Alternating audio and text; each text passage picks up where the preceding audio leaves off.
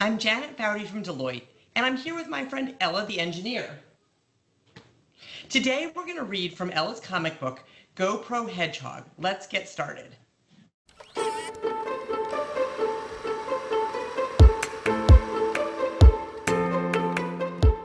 It's nighttime at the school computer lab. All of a sudden, there's a brick smashing through the glass. Smash! On the whiteboard, there's a note announcing Guinevere, Gwen, the new class pet, a baby African pygmy hedgehog. She wears a tiny camera strapped to her back. Plunder loads his arms with laptops. He's dressed in head to toe black and is wearing a mask. As he walks, he leaves muddy footprints behind as he moves. Plunder crouches down, reaching greedily for an unusual looking bag. It's marked Gwen. Plunder says, GoPro gear, nice. I can sell that for a ton. Plunder jumps back outside through the broken window, smashing his foot into the flower box. You can see Gwen's tiny hedgehog face with her two little eyes peeping out of the duffel bag. She looks adorable and scared. There's a small camera strapped to her back, nestled among the spikes. Several hours later, Ella and her teacher, Ms. Bindle, show up. Miss Bindle is crying. Miss Bindle says, I get why Plunder took all of our students' computers, but did he have to take Guinevere? What are they going to do with the sweet little hedgehog? Ella says, I think he was probably after the camera Gwen, Gwen was wearing. Ella touches her teacher's arm kindly and says, It's going to be all right, Miss Bindle. I'll find Gwen and the computers. Miss Bindle says, Thank you, Ella, but how will you do that?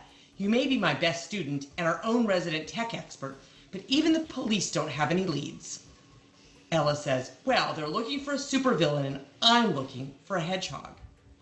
Ella squats on the ground near one of Plunder's footprints. She sees little orange flecks in the dirt. Miss Bindle points to the print. Miss Bindle says the police said it was a very ordinary size 10 work boot. Very common, not a helpful clue. Ella says, Did they notice that it's not exactly the same dirt as the flower beds outside? Ella holds up a pinch of the soil to show Miss Bindle. Miss Bindle says, It's not? Ella says, There's an orange substance mixed in. Miss Bindle says, You're right. Ella says, Plunder was standing on something orange before coming here. They're both smiling. Miss Bindle says, Cheetos? Crayons? Orange peels? Ella says, Someone with a terrible fake tan? Then Ella says, Hey, what about the camera? Can't we turn it on and see where Gwen is? Miss Bindle says, That's a great idea. We could see real time photos from my phone, but Miss Bindle is tapping her phone, trying to turn on the app. Tap, tap. Ella is ecstatic and she's prematurely celebrating. Miss Bindle says, We'll only receive images if Gwen is near Wi Fi. Ella says, We'll get a pic and we'll find her so quickly. Miss Bindle's phone screen shows a hedgehog icon with a frowny face. The phone reads, Subject Guinevere, out of range. Miss Bindle and Ella both look sad and concerned. Miss Bindle says, I hope wherever she is, Gwen is safe. The caption says, Meanwhile, at Plunder's secret hideout, it looks like an abandoned warehouse. Most of the space is empty and there's really high ceilings. You can see a scattering of orange dust all over the floor. Plunder is carrying all the stolen computers and Gwen in her travel bag. There's other gear all around the warehouse, maybe from other heists. The camera is still strapped to Gwen's body and the camera screen reads, searching for signal. Back at the school computer lab, Ella and Miss Bindle are still trying to locate Gwen. Miss Bindle says, Sigh, still searching. Ella says, unless Gwen finds her way to a Wi Fi hotspot, we've got nothing. I thought I could solve this easily. Miss Bindle says, Don't get discouraged. Real world problems are often messier than homework. Ella says, True. Miss Bindle says, What about those orange flecks you found in the footprint? Ella, okay, do you happen to have a gas chromatograph mass spectrometer? Miss Bindle laughs. Ella says, What's so funny? I just want to analyze the chemical makeup of the material. Miss Bindle says, Ella, this is a public school. Ella says, So?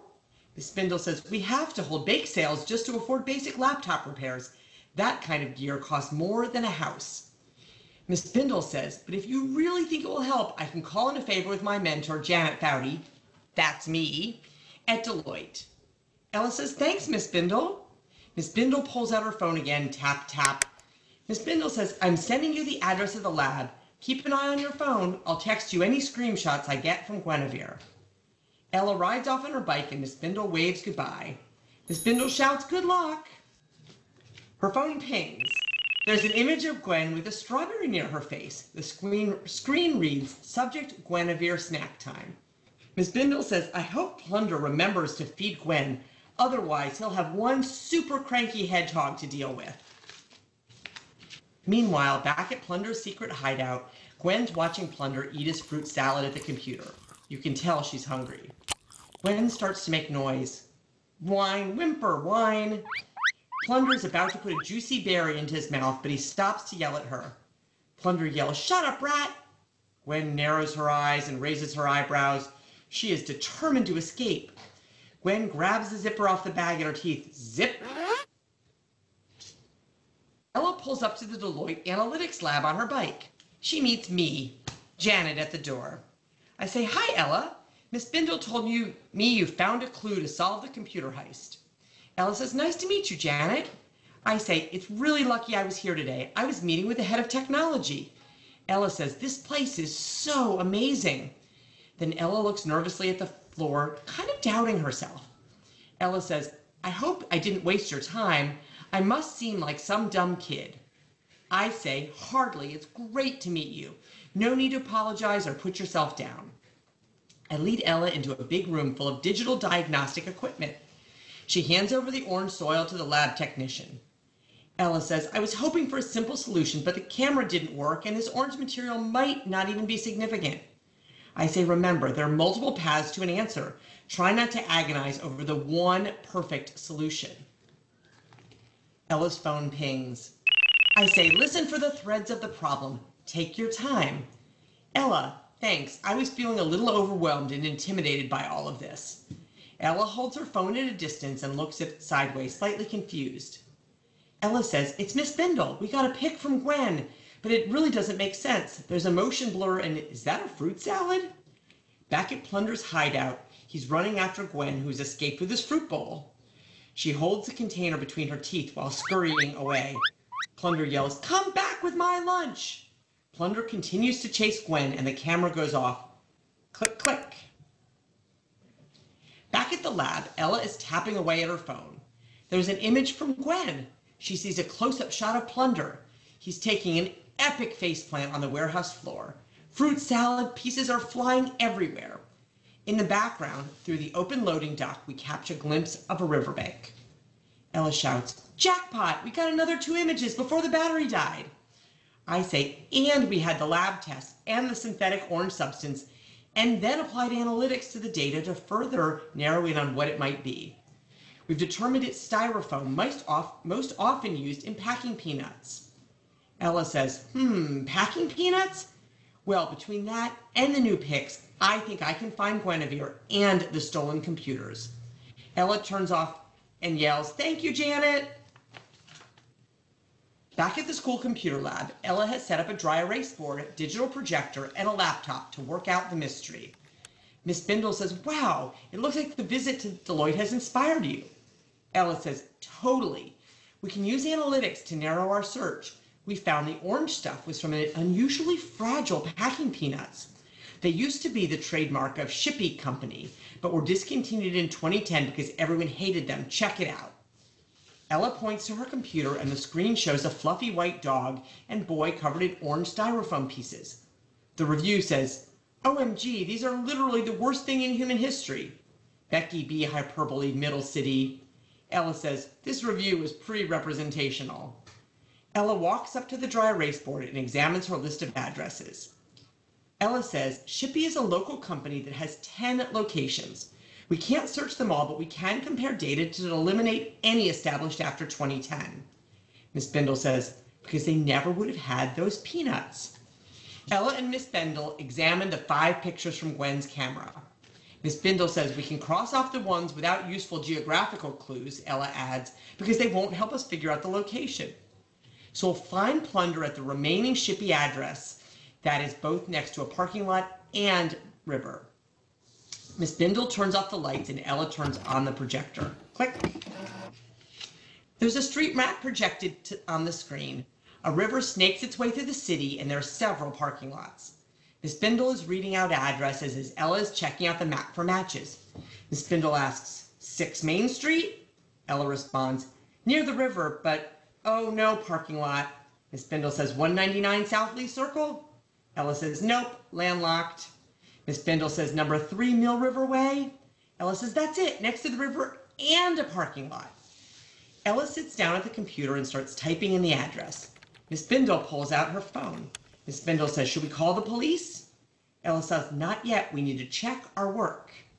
Ella points to a picture of two teenagers taking a selfie by a riverbank. In the background, we see an abandoned warehouse with a familiar loading dock. Ella says, That's the door from Gwen's photo. They rush outside. Miss Bindle says, Hello, police? They get into Miss Bindle's car. Miss Bindle says, I hope Guinevere is still okay. Ella says, Don't worry, Miss Bindle. She's tougher than she looks. Back in the warehouse, Plunder is holding a baseball bat and searching for Gwen. Plunder yells, Where are you, rat? You can see little Gwen hiding in the corner. Gwen runs across Plunder's feet. He winds up the bat. Plunder says, Gotcha! Plunder smashes his own toes with a bat. Plunder yells in pain, Yay! Two cops bust in and Plunder puts his hands up looking defeated. The cops say, Freeze, police! Cop 2 says, You're under arrest for theft and endangerment of an adorable animal. Outside, Miss Bindle cradles Gwen while Plunder gets handcuffed by the cops. Ella calls out to Plunder, You mess with the wrong hedgehog buster. Ella and Miss Bindle high five because they solved the mystery and saved Gwen. The end.